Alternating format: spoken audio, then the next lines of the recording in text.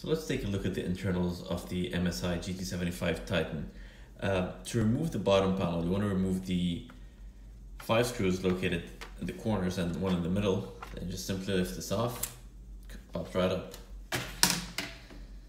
As you can see, you got dual exhaust fans with uh, whirlwind blades, which improves airflow at the same RPM of any other conventional fan.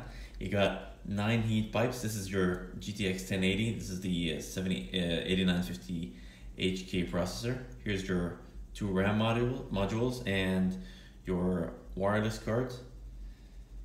It's the battery and MSI has done a very neat thing here. You see under this heatsink are the three M.2 SSDs that I have, the, the 960 Pros.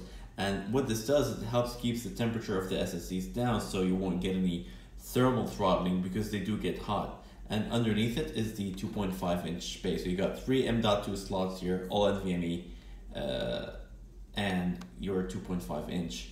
Now, my only gripe with this laptop is the other two RAM uh, slots are located on the other side of the laptop underneath the keyboard.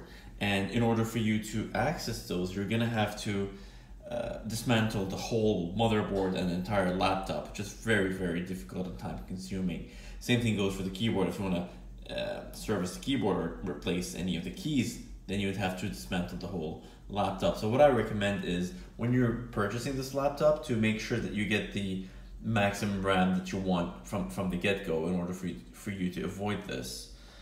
Um, yeah, that's it for the internals. And of course, this is your Dynaudio speakers here uh, and your Dynaudio subwoofer.